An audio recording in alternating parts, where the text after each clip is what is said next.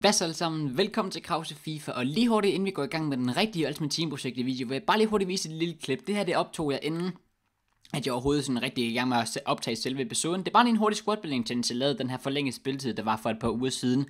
Øhm, og vi kan se, at jeg har fået bygget et hold her med nogle konceptspillere, og jeg går så ud med det samme, køber spillerne hurtigt her, øh, køber æg, der går ind og køber Albentosa, eller hvordan hvad man udtaler hans navn, der finder dem ret billigt alle sammen, faktisk til under 1000 coins, køber dem alle sammen til. Så der har man beholdet, og så har vi til sidst Artebas, som vi også sender beholdet her. Og så kan vi se, når vi går ind på forlænget spil til Squad Building Chancen, og så har vi altså klar Ah, for fuck's sake. Well, det viser sig, at vi rent faktisk manglede et position change kort til en af vores spillere. Derfor bliver jeg så hurtigt nødt til at gå ud og kviksælge først og fremmest Spinetta, en spiller jeg ved, vi har haft i lang tid osv., men nu har vi købt Bakambu, jeg kommer ikke til at bruge ham mere. Vi kviksælger også Bakambu, køber position change til 1800 coins her og sætter det ind på Victor Wanyama. Og vi kan altså se, at vi har gennemført squad building challengen.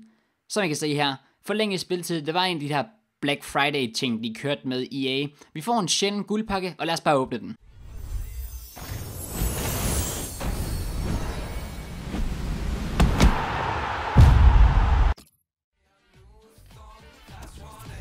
Okay, okay, okay. Det kunne have været bedre. I know. I know. For fuck's sake. Well, anyways, lad os bare komme i gang med den rigtige video. Hvad så alle sammen? Velkommen til Krause FIFA, og velkommen til intet mindre end episode 10 af min serie Ultimate Team projektet. Og vi skal altså fortsætte, hvor vi slap sidst. Vi er lige rykket op i... Jeg kan faktisk ikke huske, om det er 7. eller 8. division. Anyways, vi vandt i hvert fald titlen, titlen i, i whatever liga det var. Øhm, og, og vi er nu i den nye division, så ja, skal man ikke bare komme direkte i gang? Først og fremmest er der altså en hel masse af jer, der har spurgt mig, om jeg ikke snart kan købe nogle nye trøjer, eller nyt logo, eller sådan noget i den stil. Og jo, det kan jeg faktisk godt. Og jeg har faktisk allerede den perfekte idé til, hvad de trøjer og logo skal være. Det er altså de her nye trøjer og det her nye emblem, som EA har givet os, hvilket jeg faktisk EA først og fremmest vil sige kæmpe respekt for det her. Det er altså det brasilianske fodboldhold Chapecoense, hvis jeg ikke kan udtale det helt ordentligt, det beklager jeg selvfølgelig. Jeg først og fremmest bare sige, at mine tanker og respekt går fuldt ud til hvem som helst, der er påvirket, der har været involveret, altså kender nogen, der har været ombord på det fly. Virkelig stor respekt, og jeg ønsker dem virkelig det bedste, 100% ærligt. Og jeg tænker, at det kunne være en fin gestus for os at tage, øh, hvad hedder det, de her Chapecoense logo først og fremmest på. Det er vores nye logo. Og det her er altså vores to nye trøjer, så den tager vi på med det samme. Men lad os hellere fokusere på noget lidt mere, hvad kan man sige, glædeligt. Det er altså, at vi er rykket op i 7. division, som sagt, som vi også gjorde i sidste episode, og som I kunne se på det klip, jeg havde inden før med de der squad building challenges, jeg hurtigt lavede, så mangler vi nogle spillere ind på vores hold. Først og fremmest var en jammer, mangler vi her på vores Premier League hold. Vi kan se, vores Liga hold trænger måske til lidt fitness, lidt kontrakter og så videre, men jeg tænker bare, at jeg vil helst gerne spille en kamp med det her hold først, og så kan vi tage anden kamp i Premier League holdet. Så ja, jeg har ikke lige så meget, vi skal gøre selvfølgelig. Det eneste, vi skal gøre, det er at give Olana en kontrakt. Og faktisk, så som jeg også spurgte jer om i sidste episode, om vi skulle købe øhm, Williams. En hel masse af jer sagde ja. Så det gør vi altså også, når vi får, øh, hvad hedder det, råd. Så køber vi altså Inaki Williams fra Athletic Bilbao. Men først og fremmest, som sagt, skal vi ikke bare komme direkte i gang med kampen. Vi kan se hans hold her. Meget standard Premier League hold lige en lundspiller nede i forsvaret, to sølvspillere osv. Ikke det, ikke det bedste hold. Jeg tror godt, vi kan slå ham her. Det er godt spillet. Man jammer med bolden. Damn. Godt taklet. Godt taklet. Skal vi få den igen? Tak. Huh. Tæt på, en med Sane der. Damn. Så er det Chan bolden. Åh, oh, det er godt spillet. Det er fantastisk spillet. Damn. Det er godt spillet. Fuck sake. Kommer bagud tidligt i kampen. Alexander, selvfølgelig. Score mod os. Damn. Det, ja, det er ikke så meget at sige. Godt mål. Så vi kører vi. Så kører vi. Mod søndag. Så er det dig, det skal komme fra nu. Fint lavet, fint lavet. Spiller Oelana helt fri. Oelana er igen og gør det til 1-1. Ja tak, fantastisk forarbejde. Af hvem tror I selv? Musunda selvfølgelig. Og Oelana fuldfører altså jobbet lækkert sparket ind med venstre fod. Fuldstændig angre mål. Vi scorer der, og 1-1. Godt det der Bakambo. Asensio, uh, lækker lille 1-2 Bakambo. over Asensio spiller. Bakambo er i dybden. Og han formår ikke at konvertere en mod en chancen på hans målmand der. Åh, oh, wow, Asensio, det var lækkert lavet. Så er det søndag. Kommer igennem. Wow, skal vi score lige efter kickoff? Dum en redning af hans målmand. Det er godt spillet, godt spillet, godt spillet. Det er godt, det er Vanyama, der er afsted og ikke rigtig kan finde ud af at afslutte. Det er godt taget, Alves. Godt det der, det nu er det så bare ikke lige der, den skulle takles hen. What? En redning af Diego Alves. Holy shit. Godt taget. Jørgens bak os her. Hvor Schalke. Flæk den over. Til, til Abdenur, som kommer out of nowhere, som jeg ikke engang styrede. Ja tak, Abdenur gør det til 2-1 for os. Hvor er det vigtigt super godt kommet. Det var, jeg styrede ham ikke engang, men han kommer bare flyvende.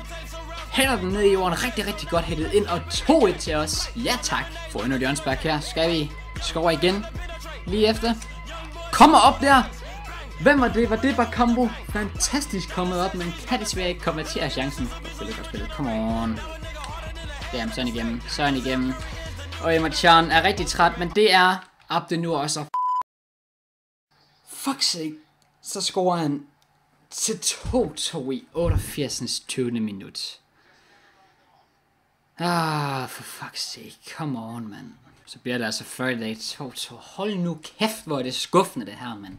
Jeg havde at være med efter en kamp, og det var en forholdsvis lige kamp, men det kan det ikke lade være med at score til sidst i kampene, altså.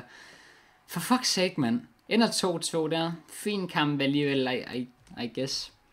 Fuck et skuffende resultat der. Fair nok, der er ikke så meget at gøre ved det. 2-2 ender kampen. Well, sådan er det. Vi skal i gang med næste kamp. Vi skal faktisk bare direkte i gang med den. Øhm, og ja, øh, ja, øh, vi skulle sådan set lige for at kunne spille med vores Premier League hold selvfølgelig, skal vi have fat i Victor Wanyama her fra Tottenham, selvom end på den centrale center midt i vores 4-3-2-1 med vores Premier League hold. Han er tilbage på holdet, vi havde ham selvfølgelig også førhen, inden jeg smed ham ind i den her squat building challenge der, så ja, vi kan se, holdet ser således ud, ser ganske fint ud i hvert fald, og ja, yeah, jeg tænker egentlig bare, at vi skal direkte i gang med anden kamp i den episode. Og således. Wow. Så næste hold, vi skal møde. Okay. Nu siger jeg det bare ikke. Hvis vi ikke vinder den kamp her, så er jeg done. Så er jeg done med FIFA for altid. Come on, vi kan godt slå dem her. Kom så, Buffal. Uh, allerede efter troen var første chance til os. Godt taget, du var. Uh, det er godt spillet. Lækkert spillet.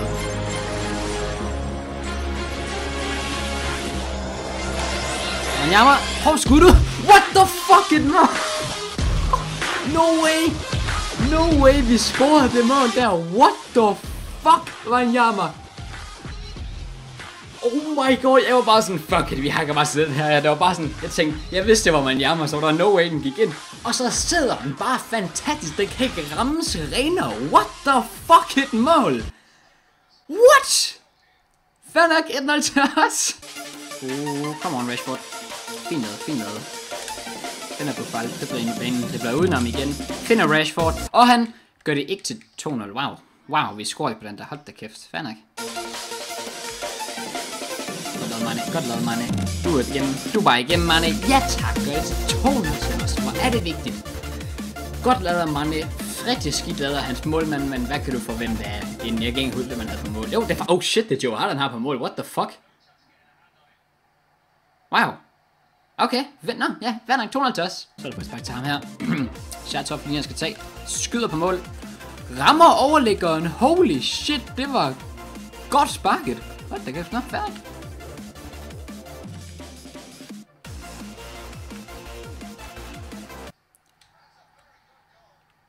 Okay, what the fuck? Den gik lige ind den der. Wow. Fair nok. Oh, okay. Godt taklet. Fantastisk taklet for Nyama. Rigtig godt lavet. Så spiller vi en lille fin 1-2. Det er fint lavet. Det er lidt ærgerligt, det er Nyama, der er stadig ikke frem den hurtigste. Men han kommer da. Formår at komme hele vejen ud. Hvem har vi med indover? Ikke nogen om, at Vanyama fortsætter stadigvæk. Okay, nej. Godt taklet, bros.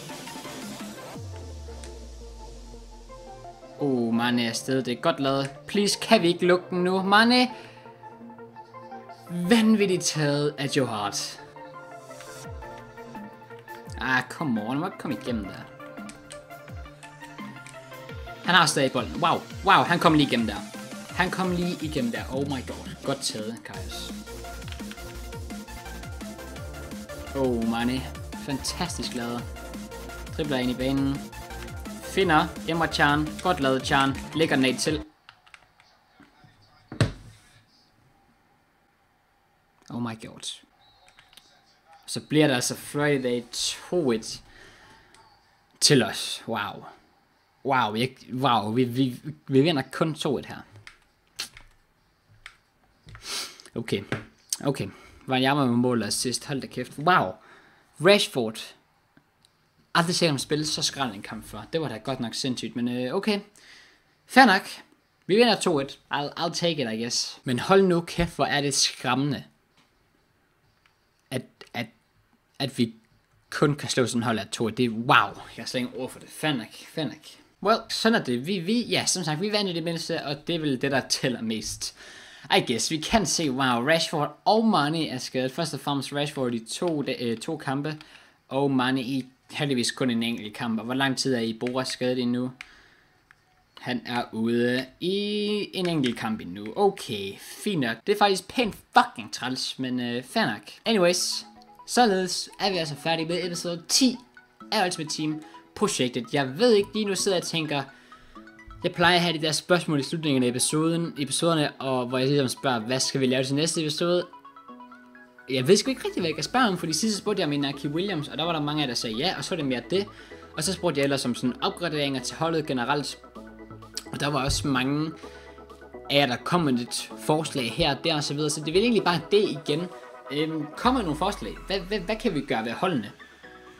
Basically, ja. Yeah. Ja, yeah. kom med jeres forslag. Og udover det, så er der altså ikke mere at sige end tusind mange gange tak, fordi er det som alt sammen. Hvis jeg er nyt video, så husk selvfølgelig altid at smide et like på den. Subscribe, hvis I vil se mere. Og vi ses!